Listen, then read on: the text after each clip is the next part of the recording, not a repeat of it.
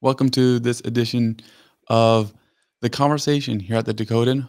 I'm Jonathan Starr, and today I'm joined by a member of the House all the way from District 16 in Fargo, West Fargo, Ben Koppelman. Thank you for joining us today, Ben. Thank you for having me. Absolutely. All right. So, our listeners won't know who you are, even though you've been in the House since 2013, you've been around.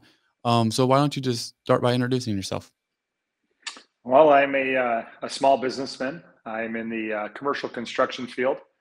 I'm uh, married and I have uh, two children and uh, one grandchild, one more on the way. So uh, people don't believe that that I can be a grandpa, but uh, I tell them it's way easier to be a young grandpa than it is to be an old grandpa. So at least at least that's what I think because I've never been an old grandpa. But um, but no, I I, I have a, a a background in construction. I joined the House Representatives after the 2012 election was on the school board for four years prior. Also served on an appointed capacity on the state electrical board, so that's why I kind of get into that realm every once in a while. I'm probably the the most prominent defender of the Second Amendment when it comes to legislation um, in our in the House Representatives, at least. Um, I've probably introduced uh, at least a dozen, if not maybe even closer to 20 um, gun bills that uh, always restore the rights of the Second Amendment not uh, ever cause more gun control. Um, so those people that think that more bills are bad, that's not always the case because sometimes that's how we get our rights back. Um, I've been a defender of other amendments uh, such as the First Amendment and free speech and, and uh, also people's right to vote. I've been a defender of the Fourth Amendment when it comes to not having unreasonable search and seizure. Um, so I'm really kind of a constitutional guy. That's where I'm comfortable. Um, I do believe in local control, but I don't believe that locals should be able to control the Constitution. I think that's something that's somewhat set in stone. Um, I've spent time on the Education Committee, um, on the Finance and Tax Committee, on the Industry, Business, and Labor Committee, on Transportation Committee, and uh, as well as the Government and Veterans Affairs Committees during the session. So I have a really kind of a broad experience through that. Um, in the interim, I've also served on the Judiciary Committee and I chaired the um, the Government Services Committee this time around, which studied homelessness, studied construction methods for doing government projects, and then also studied the uh, having a committee of legislators that would oversee new state buildings and renovations. All right, so you've done a lot. Um, maybe we should just went by stuff that you haven't been involved in. What, as you have experienced those different opportunities, what has been some of the most favorite places to get work done in? Well, um, as mentioned, I mean the uh, the uh, Second Amendment arena. Um, right. Once I entered that kind of arena, um, I started small. I started looking at our concealed weapons license, really trying to um, figure out why we're banned from carrying so many places after getting a license and jumping through all these hoops. And so we've been peeling that onion back a bit, restoring those constitutional rights.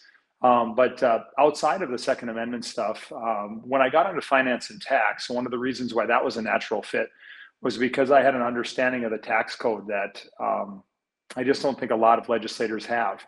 And so uh, as I read things, I tend to retain a lot of that knowledge. And so I could build kind of logical um, conclusions and, and solutions to problems as it related to the tax code. Um, I've always been a believer in um, fair and equitable taxation, which to me is flat taxation. It's the okay. idea if you're going to have an income tax, it shouldn't be progressive. If you're going to have a property tax, it shouldn't be progressive. And I know we'll probably get into that topic. And so, so I've got a lot of background there. The education background stuff kind of just happened because I had been on the school board. Right. Um, I don't necessarily have a passion for the inner workings of school districts and things of that nature. I believe we need to have good schools. I need. I believe that we should have both public and private options, um, and I believe that people of various uh, financial means should be able to choose between those options. Yeah, very good. So you obviously you first ran back in 2012 that time frame. Um, what was your reason for wanting to get into the state level? You served on the school board or local level, but why did you want to go and jump to the state level? Well, I've been active in the state level legislative politics. I, it started where my father was in the legislature for many years, so I got exposed to the process that way. Right. But then I kind of went on my own, and I, I started um, really trying to get legislators to promote good legislation for business to to improve mm-hmm. things there. When I was on the school board, I got them to promote legislation that that I you know believed made the districts better.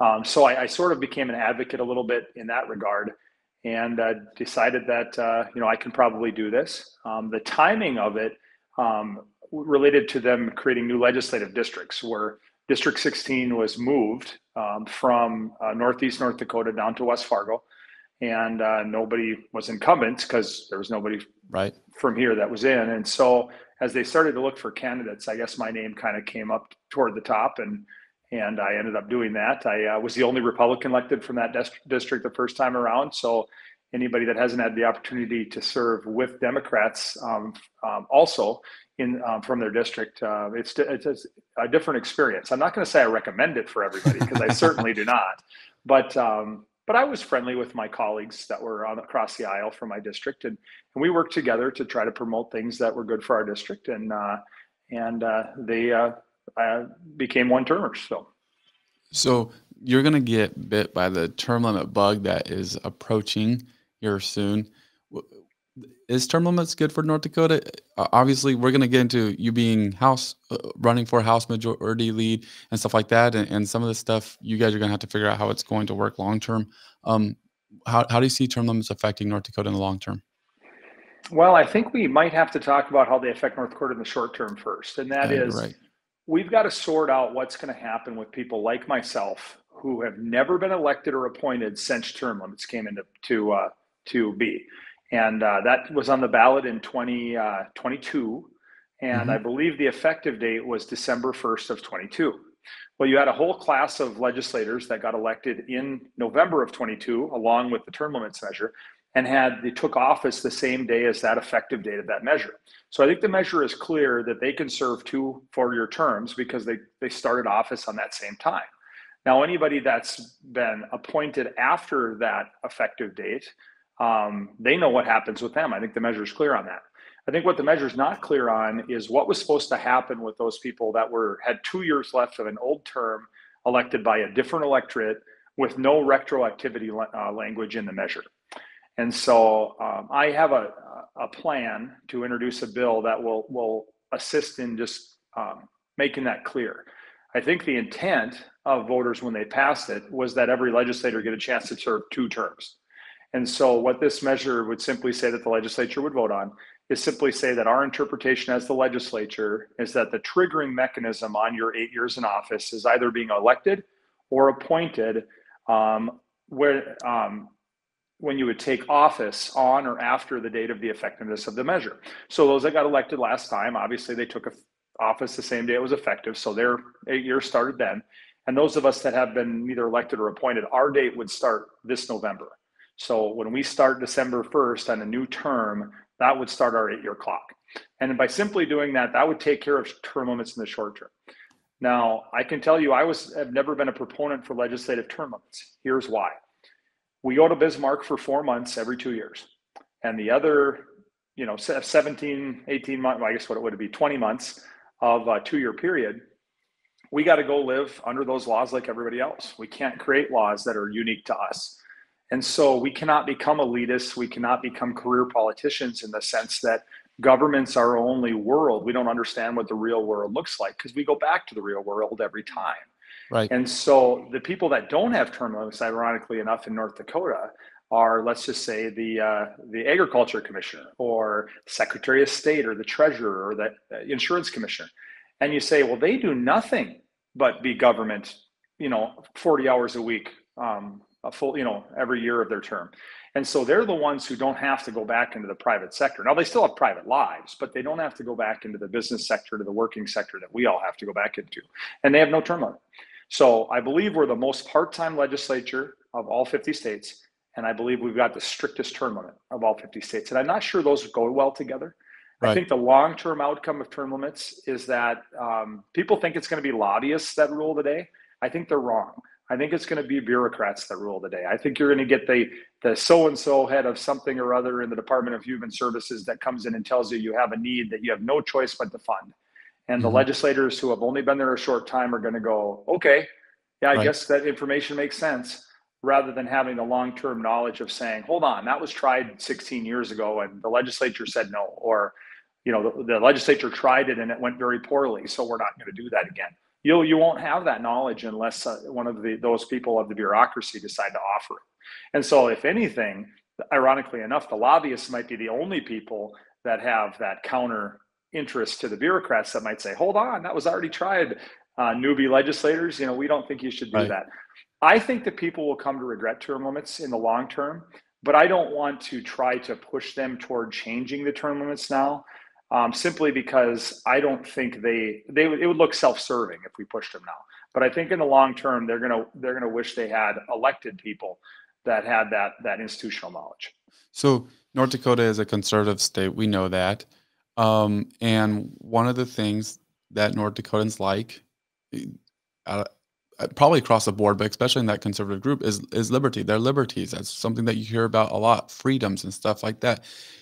Do you feel like it's a conflict with term limits being put in place and essentially taking away part of their freedom to vote? Well, that's certainly a perspective. Uh, what's most curious about the term limits to me is the lifetime ban.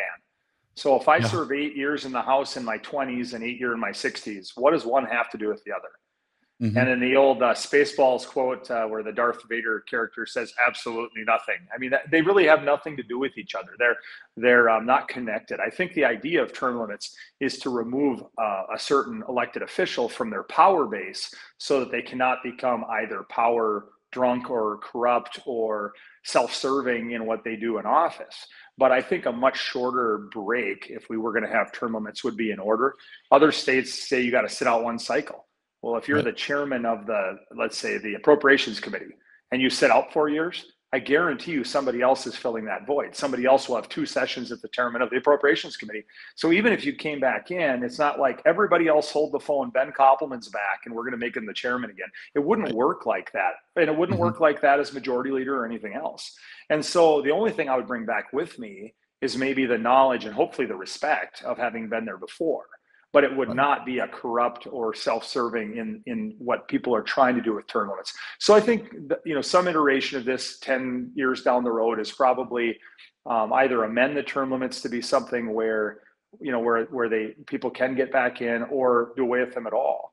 But to your point, who do you want representing you? Do you want the best out there, or do you just want the best that you you can find that haven't done it already? Right. And I think that's two different buckets of people. I'm going to ask one last question on this and then we'll move on. And it's an either or. Do you think it's more likely that term limits gets amended? Say you mentioned 10 years, whatever that time frame is. So let's say 16 years. In the next 16 years, term limits gets amended, or that we move to a full-time legislature. I think I think it's more likely it gets amended um, or or repealed, one of the two. Right um, I, I could see uh, the possibility of the people initiating a measure where they put term limits in for all the full-time politicians and at the same time amend our term limits to something that's much more reasonable, maybe a 12 or a 16 term, um, a year term limit, and then you have to sit out four years, that sort of thing. I, would say think that would be, if people want term limits for the legislature, much more workable. Um, the full-time legislature really makes me cringe. I could see us going to annual sessions uh, right. maybe two and a half months per year or something like that. And quite frankly, I'd probably prefer that because it'd be easier for my real job to just plan around. Yeah. But um, I know there's many people that are resistant to that idea as well. Very good. Moving on, you want or you are planning on running for the House uh, Majority Lead. Um, first off, why is this something that has become a priority at this point in your legislative career? Well, believe it or not, it really has very little to do with my legislative career, other than I've been around long enough to be respected, maybe, or at least I mm-hmm. believe that's to be true. And I have that institutional knowledge that that helps um, advise other people, lead other people, understand other people. Um, but the main reason I'm running is out of necessity. Uh, we have head down a trajectory over the last six to eight years that is unhealthy. I mean, our, our caucus is is becoming uh, more divergent, but most importantly, it's becoming more disrespectful. So when I came into the legislature, you know, we we used to practice what we call civil discourse or statesmanship or just you know old-fashioned respect.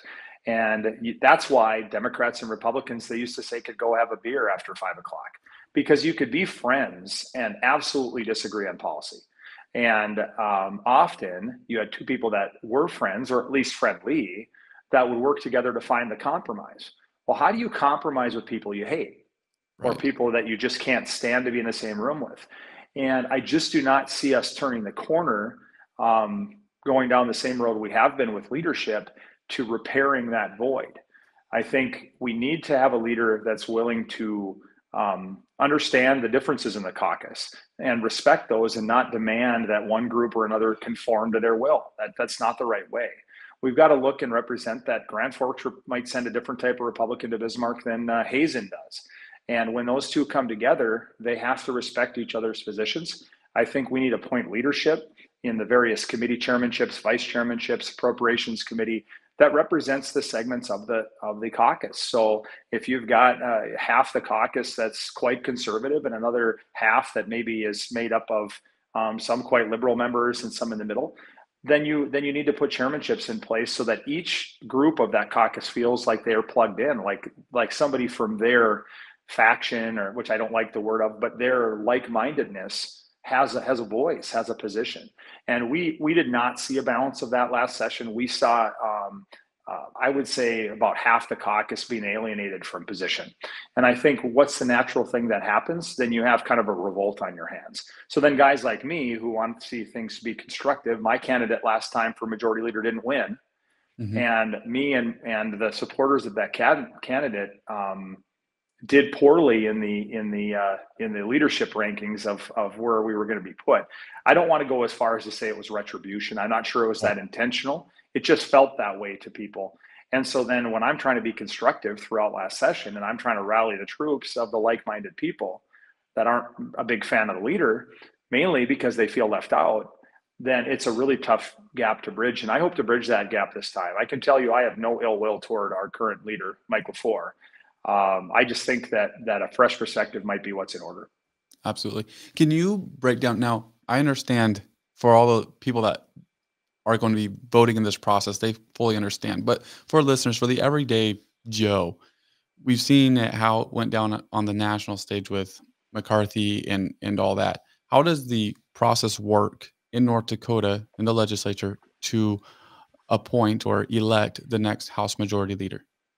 Well, the first thing to point out is on the national level, McCarthy's Speaker of the House. That's the most powerful role. The majority leader is number two in Congress, in US Congress.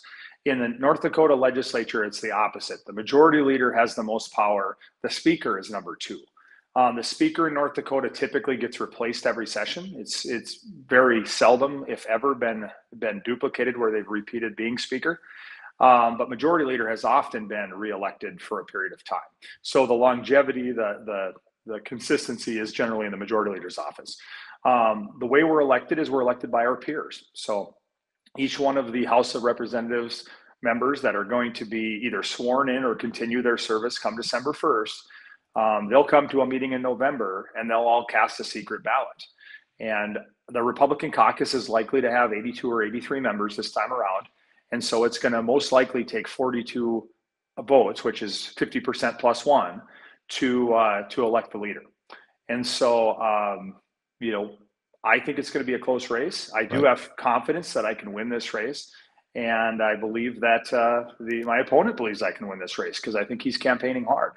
Yeah. Um, I would say if I don't win this race, uh, it's it's uh, the or if I do, um, the outcome of how we run this race and how the victor treats the loser in this race is going to be the building blocks of how we repair the relationship in the caucus. Last time there was a vendetta between the top two vote getters. That can't happen this time, right. regardless of who wins.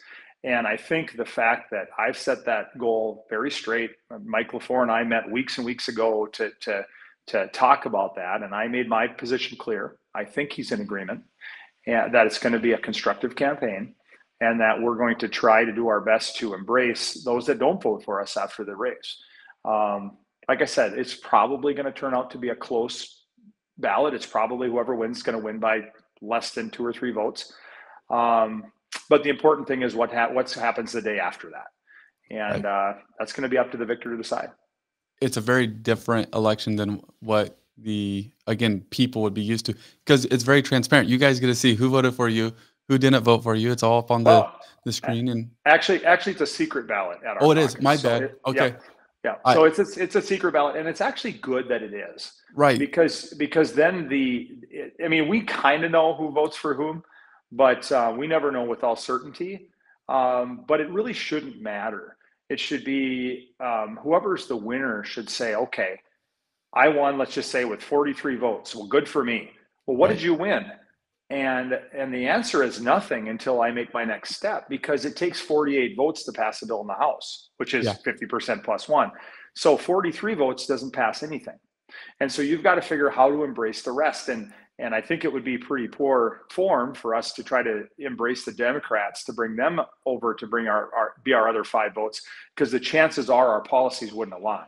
Right. And so we're better have a better chance of you trying to unite our caucus at least to the point where we're treating everybody with respect.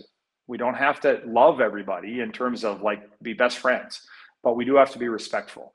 If that happens, I believe our caucus will have a better chance of getting things done. And if we can get things done, hopefully we can get back to the things that matter for policy purposes, like scope and size of government, rather than just spend money on everything and, and have the train run out of control, which is kind of how I felt toward the end of last session when the uh, when the spending you know, was really finalized. So, if elected, what what are some of the maybe top three priorities? That's normally the number that we go with. Uh, that you would have in that role to make sure that was accomplished during this upcoming legislative session? Well, the first I kind of hit on already, which is improving the relationship of the caucus, uh, bringing back respect.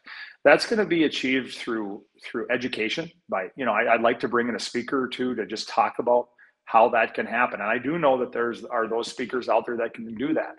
I think um, communication all the way through the the session, having weekly caucuses, sometimes maybe even caucuses twice a week, so that everybody knows what's going on. The Senate has done that every single week in in recent years, and they're always better informed than the House is. And mm-hmm. uh, I don't blame our current leader for that. That's a problem that goes back several leaders. But um, but I want to I want to have weekly caucuses at least.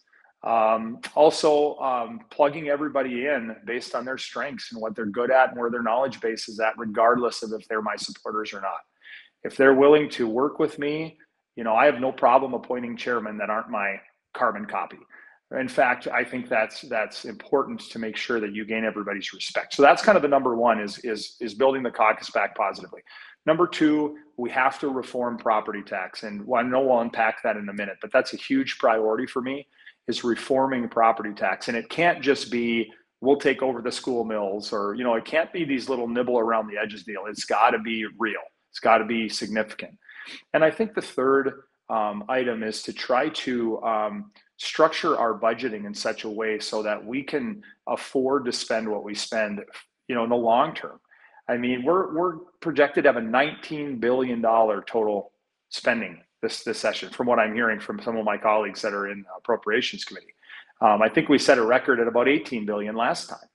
Um, 20 years ago, um, we probably spent three billion, and uh, it has been said that we spend significantly more than our sister state, South Dakota.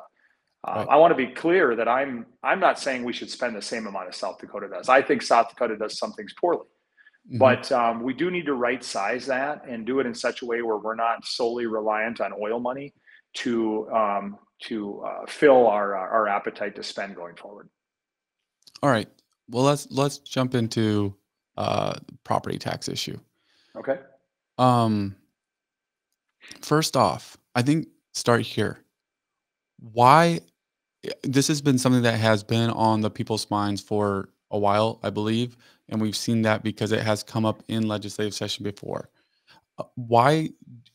What is wrong with the way that property tax is done in North Dakota currently? Well, um, first I'll start with perception. Perception is that if um, that if my valuation of my property goes up, I automatically pay more taxes.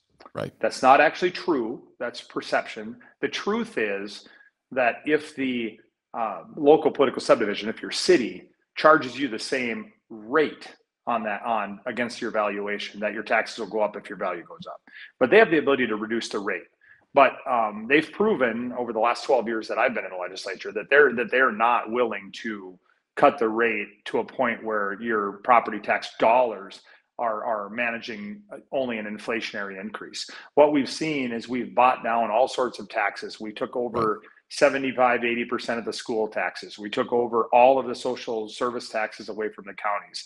And you know what that got us? Just about nothing.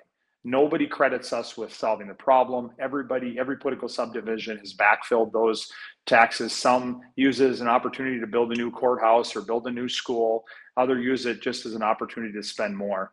But uh, but the locals backfilled all of the property tax quote unquote relief that we've provided over the last 12 years. So we need a, a structural change. So uh, when we look at at the other parts of of property tax, why they need to be changed, they're very convoluted and complicated in mm-hmm. calculating mm-hmm. what you're going to pay. That needs to get simpler.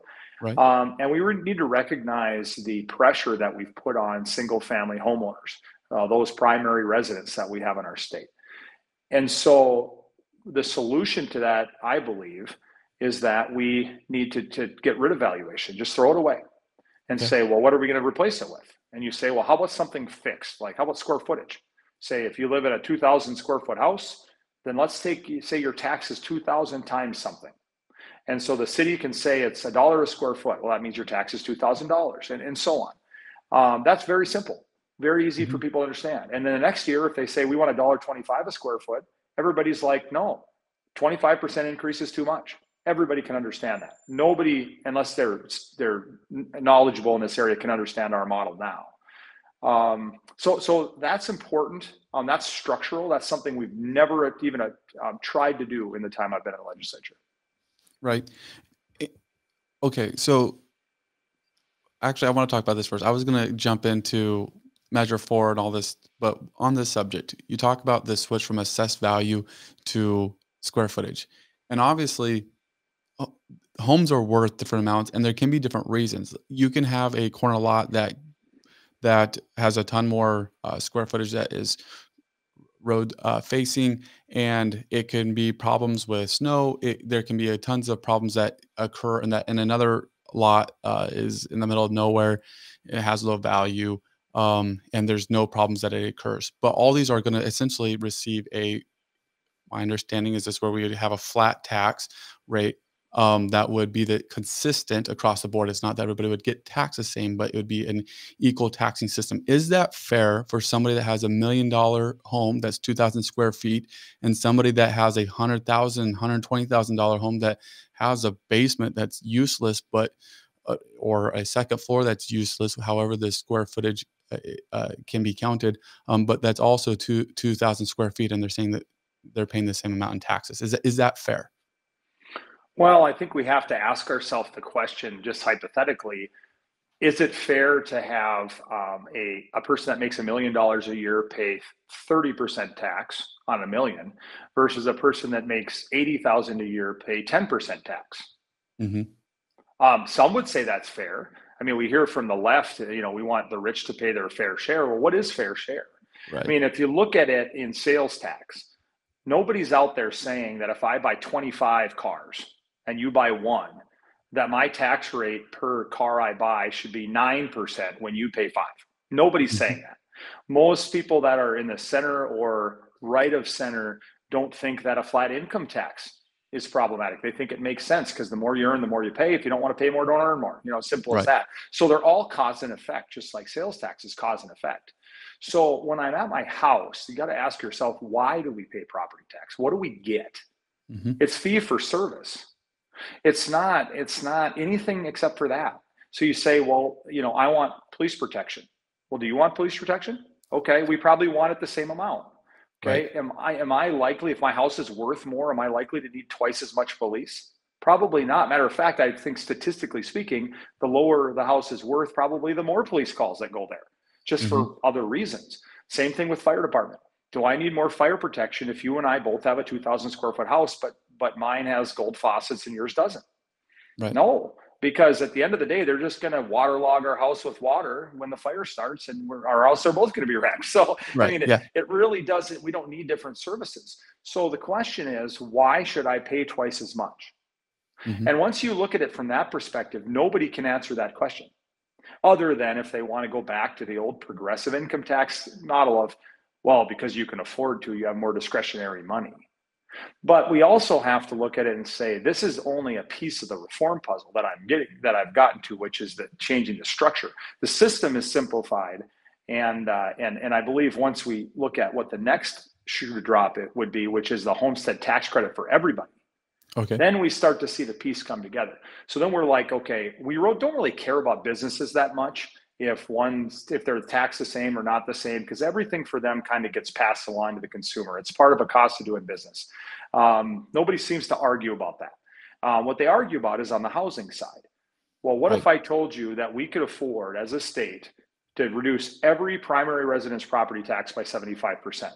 No ballot measure needed, no special tax increase. Um, it would cost about $500 million, maybe as high as 600, depending on how we classify properties.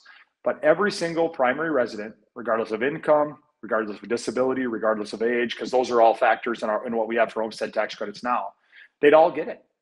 And so then if people say, Where's my tax relief? I'd say, Go look at your house because everybody got it.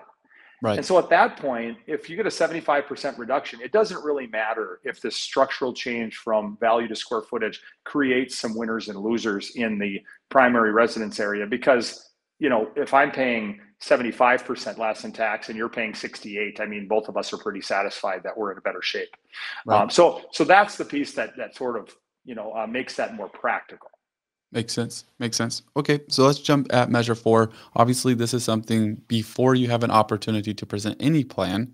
We're going to find out if if this is going to pass in November, um, and this would eliminate property tax as we know it, but it would not go away completely. It would still be there, and it, it would still have the option uh, to be applied on different values besides assessed value.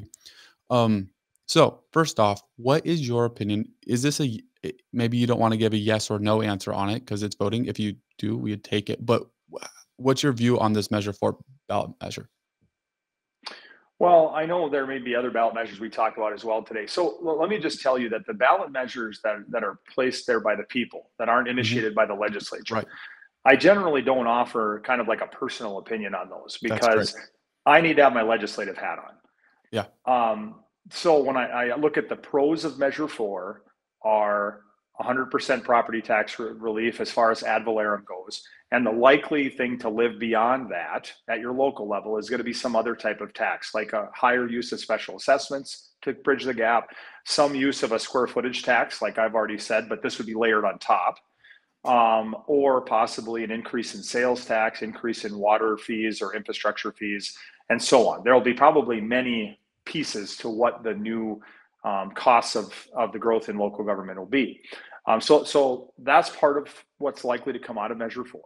Um, but I can tell you personally, from just a dollars and cents standpoint, I'm like seven times better off with Measure 4 than I am with the proposal that I would bring to the legislature because I'd get at all my commercial stuff, I'd get I get my taxes right. wiped out. I mean, it you know it, it'd be a it'd be a you know just a gangbusters thing for me financially if, if Measure Four passed, but um, but there's also the challenges of that.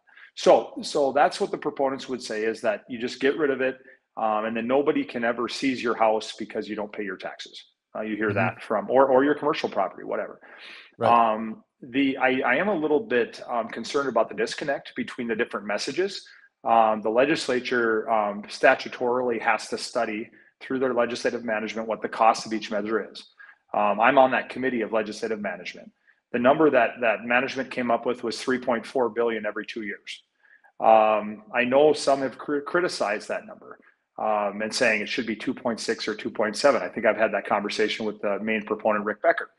Mm-hmm. And, and I'm asking, well, what's the difference? And, and he would tell you that you have to take away some of the, you know, bond bond projects and things to get to the right number. Well, I asked those tough questions of the tax department and, and legislative council. They seem to think the number is still pretty close to that 3.4 billion, but let's just say it's 3 billion. Let's meet in the middle. Yep. If you look at any of the data I'm seeing going out on Facebook and other places, it's saying that the measure is um, um, basically two billion. It's saying a billion a year, and it's saying we can pay for that with 600 million that we currently have in, in excess. Um, that and then that we can reduce or use a legacy fund earnings of 200 million, which I think is kind of what we have available, and then the other 200 million would be a reduction in in you know, I don't know, some sort of um, corporate welfare or some other government spending program. Okay, well, that adds up to a billion. Now, keep in mind that's not half of one of even three billion if we meet in the middle. It's not even half of 2.6. So I don't know where this billion number comes from. Well, then you go to repeat it the second year. Well, the second year we don't have 600 million surplus because that was our that's our um, biennium surplus. So okay. we can't spend that twice. So right. now we have a 600 million million dollar hole there. Um, um, the legacy fund earnings that's a biennial number. Um, at least of what was available. We could probably free up another 200 million if we ended some stuff, but but uh, even if we could do that, we'll say we could do that. And then we have the 200 million for that year of reducing programs. We can do that. So on that math, we're 600 million short to get to 2 billion, but the numbers really at least 2.6, most likely 3 to 3.4. The numbers don't add up. And right. so what I'm concerned about for the voters is if you're going to make a constructive comparison, you've got to make sure that the numbers add up. And so, and, I, and I've been telling many of my friends who are proponents for Measure 4, I'm like, get numbers that make sense. Let's not pretend like we're operating on two sets of books here. Let's let's figure out what it looks like. I mean, on on the proposal I'm making, that's 500 million. Um, that's operating on the only that's operating on today's dollars. The same set of books that say 3.4 is my 500 million. Obviously, it's a lot easier to come up with 500 million than it is 3.4. So right. we, we've got to do that. Um, I, okay, so so the positives is everybody benefits now um, and uh, and then the, and the the legislature has to spend a lot less on many programs in order to make the numbers work. Um, the cons of it to many people is that legislature has to spend a lot, a lot less, which I don't necessarily see as a con. But I do see the structural problems. I don't see a limit on local spending, like a right. cap. And the proponents would say, well, well, the legislature should pass that and add it on. Okay, we can do that. Another flaw is saying, well, it re- rewards all the reckless spending political subdivisions, the cities that maxed out taxation, they get locked in at their 24 rates forever. And the conservative cities that hardly spent as much, they get locked in at their 24 rates. How is that fair? I haven't right. seen really an answer to that question. Mm-hmm. The, the third critique is why are we giving all this money away to out of state um, landowners? Um, and of course, the you always have the the Bill Gates farmland example, which is what everybody loves to use.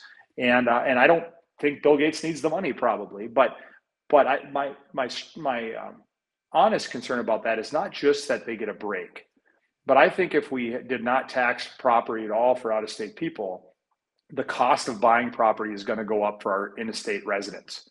Uh, much the same as you'll see in some places where like BlackRock has started buying houses up in uh, in metropolitan areas and making it almost impossible for first time homebuyers to find something because BlackRock is buying and holding for 30 years. So you become a renter class. Well, in the same way, what happens if out of state people come in and start buying all the, what if California people come and start buying up the farmland, buying up the rental houses and, and so on? I think, I think it could cause problems. So we probably need a lot to protect against that if it passes. So again, it's, I'm prepared if it passes to absolutely implement it. Um, my my uh, pledge is that I won't vote for any tax increases to fund it, but mm-hmm. there are people that want to raise taxes to at least partially fund that 3.4 billion, and uh, we're going to have to have some iron will to fight against that. And so it's my understanding, even, and I could be misunderstanding this, but it's my understanding that cities and stuff like that could go and implement taxes on a different basis. And so they would actually make out well from this, even though right now it seems like a lot of cities, at least I've heard, are against it because they'll lose the local control, but they could actually increase their budgets dramatically, potentially, if they got people hmm. to buy into it. Correct? Well, it, oh, that's correct. And, and to be honest with you, the reluctance of some of the people that don't want Measure 4, I think, to just jump on and back my proposal is yeah. because I think my proposal still gets rid of valuation Right. And valuation is their best smokescreen to cover for local tax, tax hikes. Because you've got many people that claim to be Republicans, even though it's a nonpartisan race, that, and maybe that should change, but it's a nonpartisan race for local office that right. say, we're Republicans, we're your fellow people. And yet mm-hmm. the budgets and spending go out the roof. Well, right. how did that happen? Well, it's valuation. The state makes us do it. Well, we know that's not a true argument, but I think if I remove, if I, if my system or Measure 4 removes the smoke, they're probably against it because there's no screen anymore. But but you're absolutely right. They can have lots of different methods of taxation, but they could do that today. Mm-hmm. So if they said, okay, um, we understand property tax is out of control, so we're going to limit our our spending through taxation to three percent a year, more than last year. They could do that on their own to themselves, and then and then anything else they needed, they could just raise the water bill or do whatever. They could do that now, but they don't. Right. And so that's that's why they're against it. I predict that in my own community of West Fargo, which is one of the largest users of special assessments to fund road maintenance, I mm-hmm. think our special assessments are going to get used a lot more. That's going right. to be our our uh, uh, flavor of tax increases, um, but they could choose any number of things. So your tax plan, you mentioned. Um, uh, did you mention the full tax plan? Basically, I want to make sure I didn't miss anything yeah. there. Well, let me just recap it if I can. Yeah. So, you know, essentially, we get rid of valuation. Right. And and we go to a square footage model for your property, and this would affect commercial and residential properties. Agriculture would be left on the same system as it is today. Um, once that's established, we would, uh, you know, cities would set a cost per square foot.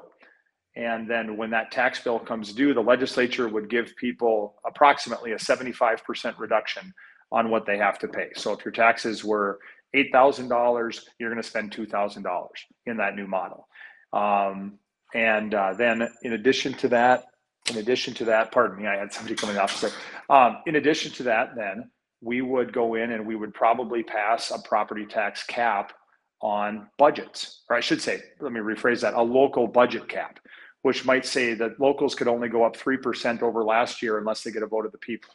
I'd like to see that cap have a provision in there so that it was kind of a rolling average um, mm-hmm. over a number of years. So cities don't just rush to the maximum 3% every year, um, which is a risk we run um, under a straight cap. But I think we'll have some sort of a cap. I would also like to see us have a provision where uh, the, the cities and counties could no longer seize your primary residence for lack of paying your taxes. I think the, the idea that you never own your domicile, your house, because it can always get taken away, to me, that's an important um, up um, thing that we need to look at. It rarely happens, but for the times that it does, I think it's very sad. So, in a nutshell, they can't take your house. You get a 75% tax reduction, and we get rid of the smokescreen that cities use through valuation. Right and it doesn't apply to businesses. It only applies to primary or your residences, um, correct? The, the, the the homestead tax credit is just like it sounds. It only provide yep. works for homesteads, but but uh, the, the the reform would apply toward businesses as well. Towards everything. All right. So then, do you feel confident? And I think this is probably the thing that grabs people the most. That this has been going on for a lot of time. There's been a lot of plans that have been brought to the legislature and no action has been taken. There has been, I shouldn't say no action has been taken. There has been some action taken and it's been backfilled uh, by local powers. But do you feel confident that there will be major reform in this legislative session if Measure 4 does not pass? Um, well, there's two factors to that. One is how well does Measure 4 do? Um, if Measure 4 fails at 18%, obviously nobody's going to care. I mean, I care, but most yep. people won't. If Measure 4 passes or fails with 45% of the vote, um, then it's believable that it'll come back in two years and and pass the next time. And so at that point, legislators are are motivated to do what they can to fix it in the meantime. Right. So if Measure 4 passes, people will get their relief. If it doesn't pass, I hope it has a good showing because that will enable people like me to push forward a plan that will provide the same type of relief at people's home that I think they're seeking when they support Measure 4. Very good. So, so that's crazy though, in my mind, because I get how Measure for it and how well it does would affect how the legislature would view how important the topic is or the issue is. But for that amount of people to sign on to it, period, that's a lot of people there's a lot of doors that were knocked. There was a lot of people that were. Mm-hmm. It seems like that would catch the legislature's attention enough there. E- either way, that it would actually get to an initiated measure. But you don't. Obviously, you have experience. You you've been this down this road before. You've seen these measures before. You don't feel like if it has a bad showing, you feel like if it has a bad showing in, in November, that it will uh, it won't be a priority in the next sessions. I don't think it'll be a priority to have the type of structural change we need yeah. legislatively to solve the, the problems that Measure 4 is trying to solve. Right. Um, I believe that they're going to tinker with property tax and try to give people some sort of relief. I just think that that it's going to be um, something easily backfilled again, um, or at the very least, it, it's it might curb the growth but for people that are already in pain now, it's not going to relieve the pain enough. So, so right. I don't want to say like the legislature will do nothing, yeah. but I, I it, it's going to feel like a mandate that you know if it does well, that the people probably liked Measure Four in concept, but maybe struggled with a few of the the it, you know part components they didn't like, um, right. and just enough people were like that that it didn't pass. Um, yeah. Like I said, personally, I benefit more if it passes. So I mean, right. nobody can confuse this for self interest. Yeah. But um, but I'm elected to figure out um, legislative solutions, and I really leave the uh, the uh, the you know the, the the democracy part of the voting that the voters get on initiated measures. I really don't want to try to twist their arm. I, I want them to do what they think is right. That's fair. All right. Well, we're we're getting close to time, but I, I want your opinion on two more measures. Okay. While we have you, measure two. This one affects how things can be presented to the ballots in the future. These initiated initiated measures, how they can come forth, it makes them a little more difficult to get on the ballot. Do you feel like this is a good thing for North Dakota, or does this kind of take away the voice of the people a little bit? Well, and this is one of those areas where I, I, I will weigh in a little bit more because I had to vote on this in Bismarck to put it on right. the ballot. Right. And I believe I voted in favor of placing this on the ballot. My long-standing belief is that constitutions should be rarely amended, and when they're amended, they should be amended very um, directly, very specifically under single issue and specifically in the sense that they shouldn't be voluminous. They should be um, setting up sort of a, a, a skeleton or a, or a template for what needs to happen and then let the statutes flesh that out. Um, many measures that have been passed in the past, um, and many influenced by billionaires that aren't from here, like Marsy's Law, like um, the ethics measure, like some of the other ones, um, they were voluminous and they were very easy to get on the ballot. And uh, many of them would not have, have succeeded with a with a supermajority vote. Um, if for all those that don't think that having a supermajority or, or a higher bar to amend the Constitution is important, I would offer this. I'd say the Second Amendment would not be here if we could have had a 50% plus one um, remove and amend the US Constitution. Yeah. Many of your freedoms that you have in the entire Bill of Rights would have been significantly modified in the last 200 plus years. But, but what it requires is two thirds of either Congress or the states to propose and three fourths to ratify. Well, if we said that it took two thirds of the of the uh, legislature to propose and three fourths of the population to ratify, we'd probably never change our state constitution. So I'm not asking for it to be that that strict, but 50% plus one is just not um, sort of a Republican way to look at it. And I say that small r, meaning of a republic. I mm-hmm. think uh, um, it shouldn't be a simple majority mob rule. It should be very, very specific and intentional to amend the Constitution. I wouldn't say that this measure was my favorite of all ideas um, to to raise the bar, um, but it is an option to rate, make it a little harder for us to to amend that Constitution. And I think a higher bar is important. All right, and then lastly, one that is another initiated measure that I think has come with a lot of uh, interest. I, I've mentioned it before on here, but I get to drive past a billboard in my town that says "Vote yes on Measure Five for economic growth." And that's all it says. A little bit misleading, um, but Measure Five perhaps could lead to economic growth, but it definitely would lead to the uh, legalization of recreational marijuana in North Dakota. Obviously, you don't need to weigh in with a yes or no, but is it time? This has come up before. Is it is it finally time? And is this measure worded in such a way that maybe it would be the best way forward if it was to become legal? Well, I get a kick out of all the ads. It's all yes, this or no, that. Nobody gives right. any reasoning. I mean, the other ad I saw was say nope to dope or something yeah. like that. I mean, I'm like, you know, what does that tell us about the measure? I will right. say that the uh, that this measure, having reviewed it, um, it's a it's a statutory measure. It's not a constitutional measure, which means with two thirds vote in the legislature, we can override components of it and fix any problems that it has. But this this measure, I think, is written about as well as a measure can be written. Um, I am not a proponent of it personally, nor am I a large opponent. I'm kind of neutral as an individual voter on this. But in the legislature, I've generally taken the, the point that I've I voted no on most legislative expansions of marijuana, but I've mm-hmm. always voted yes on the implementation of what the people supported, like uh, medical marijuana, for example. We had to do numerous bills to fix that and make it workable. Some would say it's not working as well as it should, and I'd probably agree with that. But you couldn't even possess the stuff after it passed the ballot without the legislature interceding. So it's important that this be statutory. Um, I think we will tax it. I think we will probably have a net increase in revenues from it. Um, but we've got to be really careful that it does not change the way that society feels to us, because I think we live in North Dakota for a reason, and I don't think we want a single measure to um, greatly alter that. Do you think it opens the road to maybe more uh, uh, harder drugs, such as Oregon saw and stuff like that? I think that's the horror story that people look to, uh, where they're legalizing fentanyl and everything else, and I think they're now pulling those back. But do you think it opens the road to more stuff like that? Well, I think the road's always open on the, with the when you have the initiative measure. Many states on the eastern side of the country don't have the initiative measure, so it's okay. it has to come through legislation or some other way. So um, when you have the initiative measure, you always run the risk of that.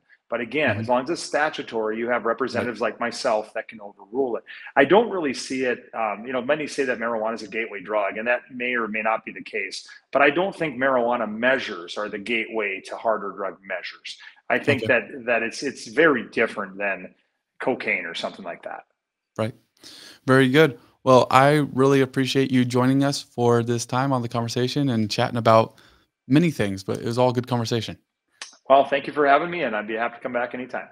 Absolutely. Thank you for watching this episode of the conversation here at the Dakotan. Be sure to like and subscribe on YouTube, become part of the Dakotan community. Thank you for watching. Have a great day.